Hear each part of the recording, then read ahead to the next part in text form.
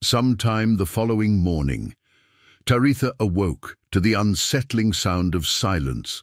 She stared up at the heavy beams and planks of her new ceiling, feeling a wave of vertigo as she tried to recall where she was.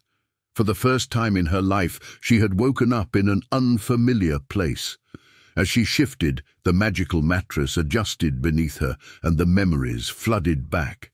She was in the mage's extraordinary factory fortress palace. She lived here now. A smile spread across her lips at the thought. Understanding the bed's quirks now, it no longer bothered her. She got up confidently to start her day, instinctively ducking her head as she had in her old hovel. Straightening up, she noted that even if she jumped, her fingertips wouldn't reach the beams above. Taking in her sparse surroundings, her problems presented themselves. She couldn't wash without warm water. She had no fire to heat the water. She also didn't have any water. There's warm water in the dining hall, down on the first floor on the opposite corner of the huge building. She sighed with resignation, so far away. The young herbalist put on her official White Flame Industries skirt and blouse, shaking out the wrinkles. As she slipped it on, a thought crept into her mind. It seemed like she'd overlooked the whole reason for the factory. What if she didn't have to go herself? Do the imps have a maximum range? She invoked her imps, directed them to don their dresses and hats, then commanded, Lady Bluebird, go to the kitchen and fetch me a large mug of hot water. Her voice trembled a bit, unsure if she was doing it right or inviting fresh disaster. Merp, the tiny imp in a blue dress confirmed. It tugged the heavy bedroom door to no avail. Taritha pulled it open a crack, and the hellspawn squeezed out to bound down the hallway and out of sight. While she waited for it to return, she emptied out her family's ancient iron cookpot to use as a wash basin. It was mostly clean, even if it smelled of a thousand meals and was a bit sooty. She scarcely had it empty when her imp returned, a gorgeous iridescent mug of water held high over its sun-hatted head, trailing steam behind it. The little monster placed it on the floor in front of her and stood with its sisters in a row. Truly a magical place the water runs. She dabbed one of her old raggy washcloths into the hot water to wash her face, neck and arms. Seeing the used water in the wash basin, Another problem occurred to her. She couldn't just fling it into the woods, not without a long walk. But this problem was just the mirror image of her first problem. Lady Crossbill and Miss Goldfinch dump this water down the latrines and then clean the pot and return it to the room. The red and yellow dressed imps merped in unison and sprinted away with the wide iron pot, not spilling anything despite their speed. Come, Lady Bluebird, it's time for breakfast. She walked the halls with a new perspective. It might be just that she was better rested. It might be that her first two real imp tasks worked perfectly, but she could feel her misgivings fade already. It was exactly like she imagined nobles lived. One just says one's wants out loud, and it becomes someone else's problem. She used to think it was unfair, but now that she saw the other side of it, there was definitely some merit to the system. Besides, based on what Mage Thipperley said, it wasn't like the imps were even aware that they were serving, so it was no hardship to them. She could smell breakfast as she came down the stairs, more accurately, a lord's breakfast. Instead of porridge, she could smell bacon and eggs and fresh buns. As she came around the corner, she stopped in involuntary panic, seeing that the counter crawled with tiny imps, darting about and wielding knives and spatulas as big as they were. Of course, who else would make the meals here? Some imps stood on the cooktop, entirely unaffected by the sizzling eggs on either side of their hooves, while others sliced fruit and veggies with phenomenal precision. Morning, Taritha. Hungry? How about a bit of everything? Clive grinned.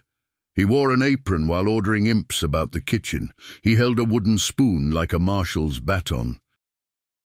There were far more imps than his three, but he commanded them all. Er, sure.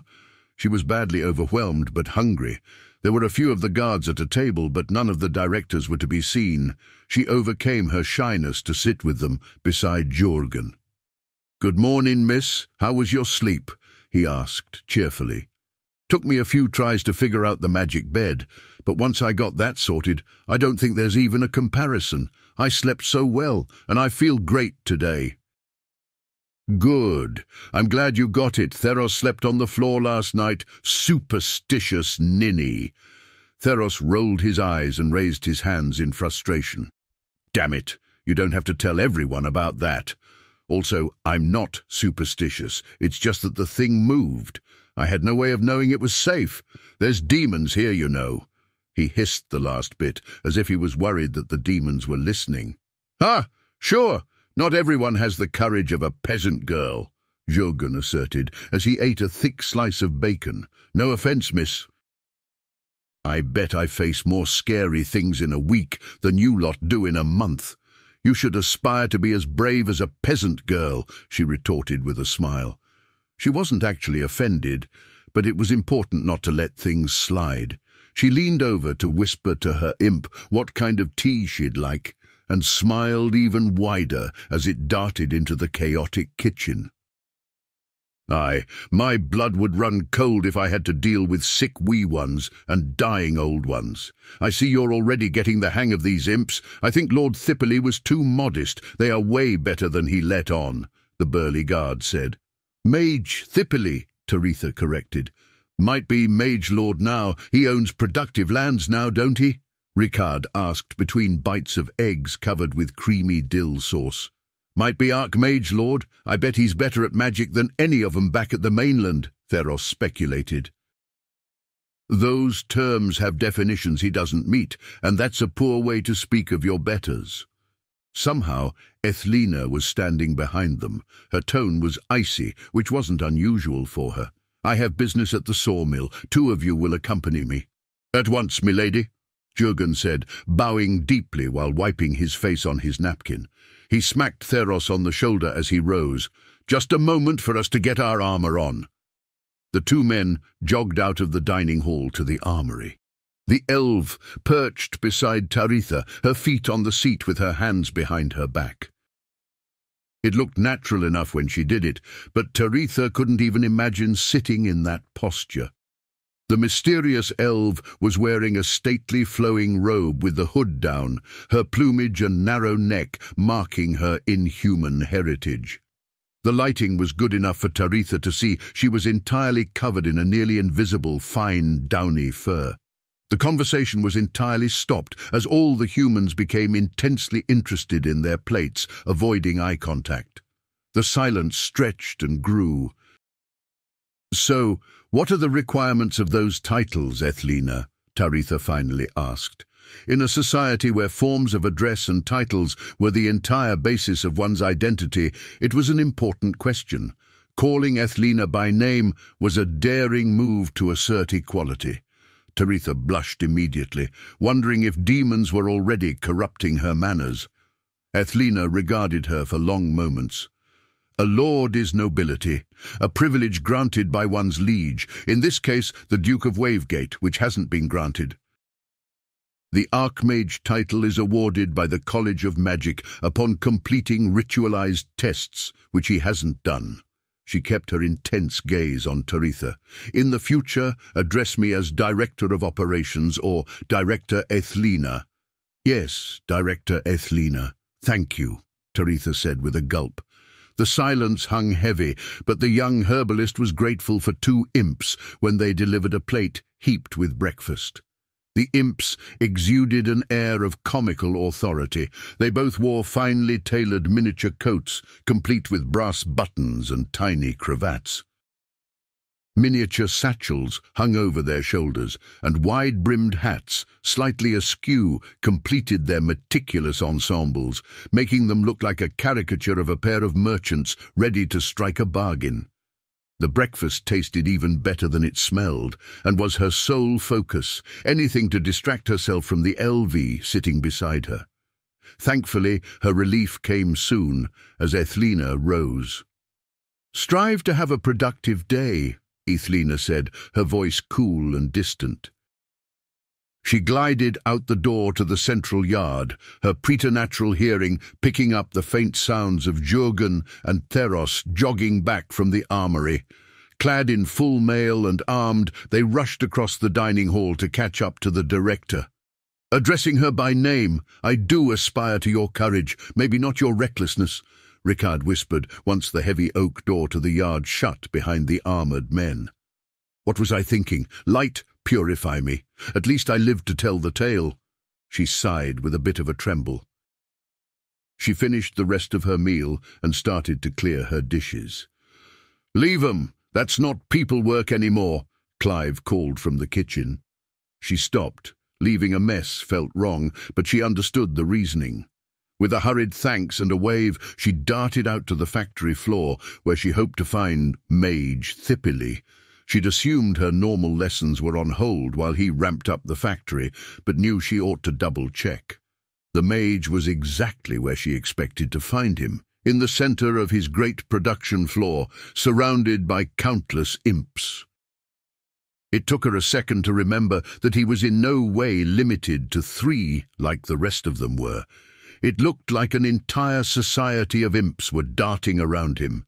She stood in awed silence, just watching the spectacle of production. Raw materials eroded before her eyes as they took one plank, one bolt of cloth or cask of linseed oil at a time, as quick as a hen might peck for seeds. The imps themselves were perfectly silent, other than the odd merp, as new commands were issued, but their tools made a jarring racket. There was sawing, planing, hammering, and other actions she couldn't even describe. Oh, good morning, Miss Whitflores. I'll be with you in just a moment, he said distractedly, before giving yet another series of commands to the imps. That's fine. I just wanted to confirm that, she started. I think they've got it now. Let's watch them complete their orders, and we can start today's lessons, the demonologist said, taking off his wireframe glasses to clean the lenses on his shirt sleeve. Taritha noticed sawdust in his hair and beard. The tiny imps began taking raw materials less frequently, while finished goods piled up at the far end of the line. The demonologist was fully focused on their work, so she remained silent, observing him. His lips twitched as if he was about to give new orders, but then relaxed. This happened almost constantly, his eyes darting from one end of the chaos to the other, as alert as a cat watching a squirrel. Once the last dresser was built and stacked with the other furniture, they doubled back. The tiny, and to her eye naked, imps cleaned the entire area, replacing their tools and sitting cross-legged in a neat grid covering a fair portion of the work area. Perfect! Just as I'd hoped. The mage turned to leave the factory floor and gestured for her to follow. We'll do your lessons in my chambers today. I'll inspect their work later. Oh, all right, we don't... She hustled to catch up with him. Actually, today's lesson will be a short one. I've some field work I'd like you to perform. Demonologist Thipperley was more energetic than she'd ever seen him. Gone was the normal weight of introspection and worry. In its place was a tornado of activity. If it wasn't in bad taste given his profession, she'd have even called him a man possessed. So, as you are doubtlessly aware from our earlier discussions on mana field density coefficients, there is usually a slight natural variation, he said as they ascended the steps to the third floor. I, uh, probably, she said. The words were familiar but didn't connect to any concept in her mind. Anyways, there is a field of mana everywhere, like oxygen in air. And sometimes that mana is slightly more concentrated and slightly less. Again, not that dissimilar to oxygen. He continued as they walked quickly down the third floor hallway to his chambers. Yes, we breathe that, she agreed confidently. I noticed that my imps were moving a bit slower today, which suggests they might be over-consuming local energies. Though powered by hell plane energy, the conduits rely on normal ambient mana. He pushed his door open, revealing his chambers, more than twice the size of Taritha's. The room was divided into distinct areas, a sleeping area, a library with a massive desk, and a cosy section with comfortable chairs for entertaining. These spaces were thoughtfully partitioned by plants, bookshelves, and painted room dividers. The room was well lit by a series of narrow windows on the external wall, allowing beams of bright morning light to stream in. It looked centuries old, but smelled of fresh sawdust and linseed oil. This is so nice, it's huge, she exclaimed, taking a seat in an ornate armchair. She ran a finger over the perfect woodwork, wondering if it had been crafted that morning or the night before. And I felt guilty about how unreasonably big my room was. Thank you. Don't ever feel bad about that. Now, where was I? Ah, yes, I made this, a manometer to measure ambient mana. He held up a short piece of wood with glowing lights on it. The levels are noticeably lower on the factory floor than here. I'd like you to take some readings around town and perhaps into the woods. The more data points, the better. Feel free to assign a guardsman to watch your back if you like. He rummaged through his desk drawers, searching for something. Taritha's ears perked up. This sounded a lot like having authority over the young men she worked with. She'd assumed she was organizationally far junior to them, but had never asked for clarification. Here. He handed her a small blank notebook, a graphite stylus, and the rough-cut piece of wood. Her gaze was drawn to the glowing parts that resembled gems. Its crude appearance stood in stark contrast to everything else she'd come to expect from him. The centermost gem was labelled with an N, a plus sign above, and a minus sign below. The rest were unlabeled, as was the back. It's just a prototype, but I'd like you to note your location and the readings. For instance, if you're at the docks and these all light up, write a docks N plus 6. If two gems below light up, you'd note N2. Got it? Seems simple enough. I haven't calibrated it properly, so any results are valuable, even if they seem useless, the mage explained distractedly. We'll do, she said resolutely. What are the little magic gems made of? They were quite shiny and a soothing green. Just ordinary emeralds. The enchantment is all in the plank. The world spun for a moment as she grasped the staggering value of a dozen cut emeralds of that size. She had no context, but she was sure lords had smaller stones in their swords or sceptres. She would definitely be getting an armed escort for this errand. Um, I'll report back when I'm done, she said bravely. Excellent. Carry on. He grabbed a handful of books and papers and sat himself at his desk. Taritha went a few doors down to her room to get a sturdy, over-the-shoulder bag for her outing. She sat on her bed, marvelling at the treasure in her hands. It was clear that the mage had crafted it himself, and quickly. There was no consideration beyond function. The top of the wood wasn't even square. Most baffling of all was the incredible wealth of gems, casually attached. Each one was nearly the size of a pea. People died for things a sliver of the value of even one of those. This is by far the most valuable thing these hands have ever held. And he just handed it to me like it was leftover toast, and he made it sound like the emeralds weren't the valuable part of the device. And this bed and the imps would be vastly more valuable yet. She closed her eyes and swallowed slowly. The true nature of the mage's gifts hadn't registered before. Where did she even fit in society anymore? She still felt like a hungry peasant girl from a draughty hovel, but that was at odds with what she held and what she sat on.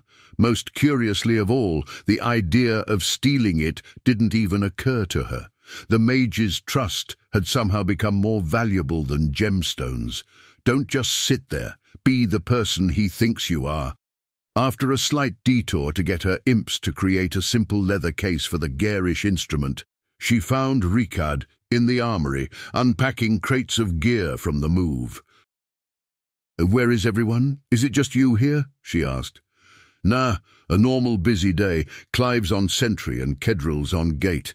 The chief and the rest are about town. What's up? he said without stopping his work. He was putting gambesons on armour stands that mimicked a man's shoulders, then putting the heavy mail hauberks on top.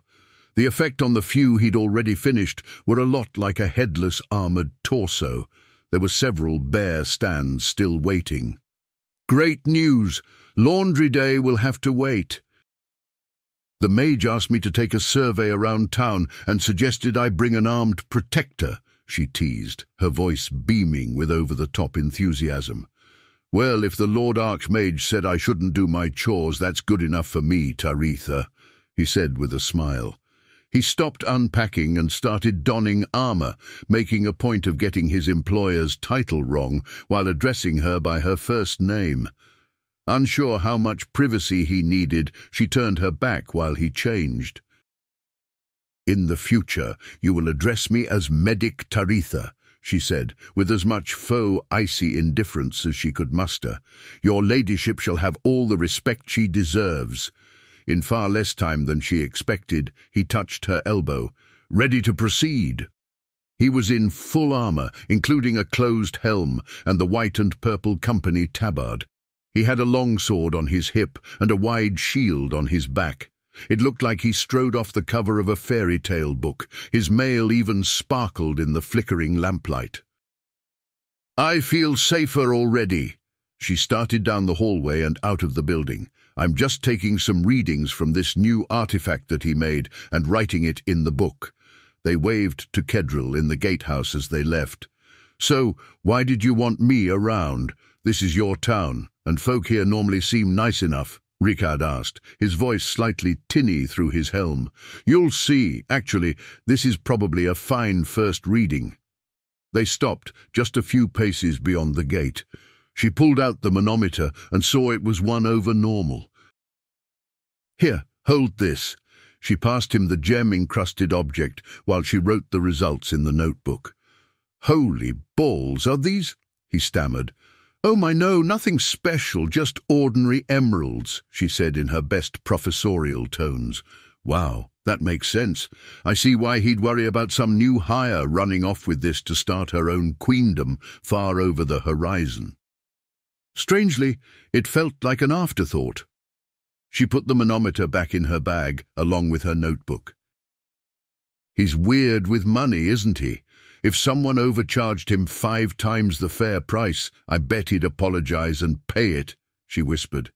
Not even kidding. That's basically how my salary was agreed upon, and it's not normal even for other fancy folk. Some of my family worked for nobles back in Jagged, and they were the stingiest, most demanding jerks you'd ever meet. They continued through the forest toward town. I meant the nobles, he clarified. Taritha hadn't spent much time with Ricard before, but it was impossible not to smile around him. Part of her worried she couldn't keep up with him, since he always was cracking on about something, but thankfully he didn't seem to expect her to. Yeah, Mage Thipperley isn't what I expected, not that I really knew what to expect. Do you think the town will go along with his big plan? she said, intoning the last two words with gravitas. The road passed near some outlying cottages, and Taritha stopped, quickly taking a reading and jotting down the results. She was getting better at being quicker and more subtle with the artifact. This town? No question. Have you not been to the pub lately? They toast to him more than they do to the light, their count or their own wives. Don't underestimate just how much the town has changed. I grew up here. They hate things that don't match their beliefs. If they knew the truth, you guys are going to earn every glindy of your salary the day that gets out, Taritha said. Me too, for that matter. His helm scraped his shoulder pauldrons as he shook his head. Nah, he's done the hard work, won their trust. Everything else is easy. She shook her head but didn't reply. He didn't know these people. Obviously no one would talk about their true reactions to some out-of-towner in front of another out-of-towner. You don't believe me, do you? he said as they reached the trade district. She took another reading, smooth and quick. She didn't even think Rickard saw the emeralds that time. I get why you think what you do, she said diplomatically. There was an old woman in her garden, just on the other side of the low fence they were walking by. She was mostly skin and bones and old enough to be either of their grandmothers. She knelt in her garden, pulling weeds in the midday sun, wearing an old patched dress with a wide straw hat. Excuse me, Gran. Do you mind if I ask you something? Ricard asked politely, taking off his helm to make eye contact. Huh, sure, anything for you. Her voice was gravelly but clear. She stopped what she was doing and sat back on her bum. Her face was weathered and flushed from exertion. Would you consider the mage that moved here this spring a good thing for the town? He spoke evenly, trying not to bias her answer. Mage Thipperley is his name. You ought to know that, wearing his tabard and all. Best thing that's happened to this town in my life. Ever. I spent six years in bed, couldn't walk, just waiting to go into the light. Now I feel like a teenager again. He fixed my back, he fixed my skin, fixed it all. I'm 88 years old and I've been gardening all day. I'm glad to hear it. He's a great man, and we are both honoured to work for him. He nodded and started putting his helm back on. The floodgates were open, and she wasn't done. I don't think I don't see you there, Taritha. I got good eyes again. Your creams were a godsend, but now I'm going to live until I'm 200. That mage couldn't do anything wrong, not if he tried. That's incredible, ma'am, thank... Ricard started. If he needs to eat babies, I'll round up some for him. I ain't got a shortage of useless great-grandbabies. Shadows below. If he wants to pump a few babies into me, he's welcome to 'em. That's very much not the... Ricard said, slowly backing away, grateful for the low fence between them. Or did he send me his strapping young man to do the job? By now she was standing with a mostly toothless grin, leaning over her fence. Ricard backpedaled more quickly. Fine, be like that, but tell him that Abby Grain is here for him. Will do, Gran. Have a good day now. They walked quickly down the road to put some distance between them and the amorous oldster. I see. I may have misjudged the effect of helping people, Taritha said, stifling a giggle. Ricard chuckled, adjusting the chin strap on his helm. I told you, he won more than just their trust.